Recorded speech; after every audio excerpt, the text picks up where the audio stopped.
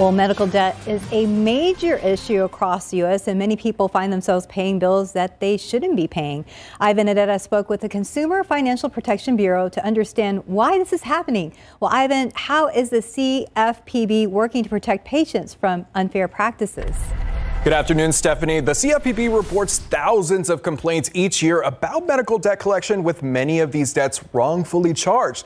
But the CFPB is taking steps to help those who need it most.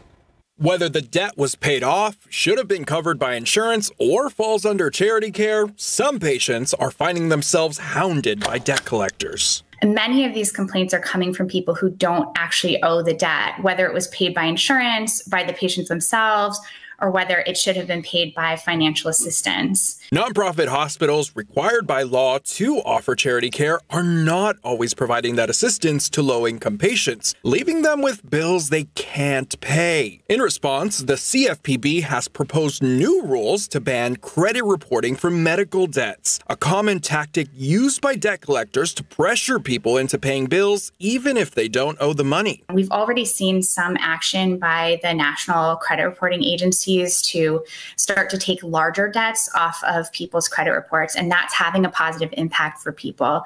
But our research suggests that we need to go further. But that's not the only problem. Medical credit cards are often offered as a solution to pay these bills, advertised with zero interest promotions. However, many patients struggle to pay off their balance before the high interest rates kick in, trapping them in more debt there's virtually no way for a person to actually pay off what they owe during that zero interest period.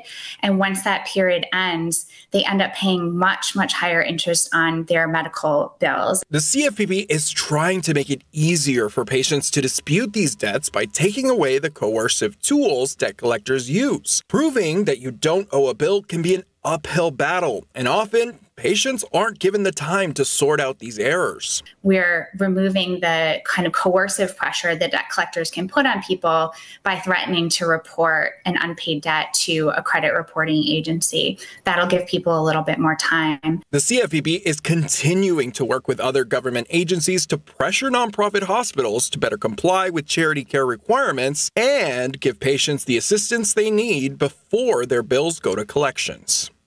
And patients should ask about charity care options before agreeing to any payment plan or medical credit card. Always check bills for accuracy and don't be afraid to dispute those charges.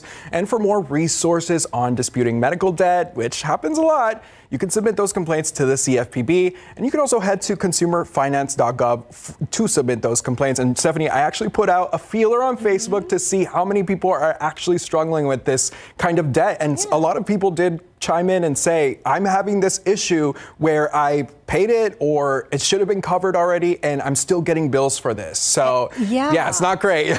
So, when you were talking about uh, a new rule kind of banning credit reporting for this kind of debt, that would, yes. that would help a lot of these people. Yeah, yeah, yeah. Because a lot of these, uh, the debt collectors like to kind of threaten you and say, hey, we're going to put this on your credit report. So, that's what the CFPB is trying to stop. So, th- it's, a, it's a good idea for consumers. Of course, maybe the medical debt collectors might not like it, but the consumers will definitely enjoy something like this. And definitely check out the CFPB website if you are needing to submit a claim or anything like that if you're dealing with this issue. Yeah, that can be very worrisome. Yes, yes. Thank you, right, Ivan. thank you so much.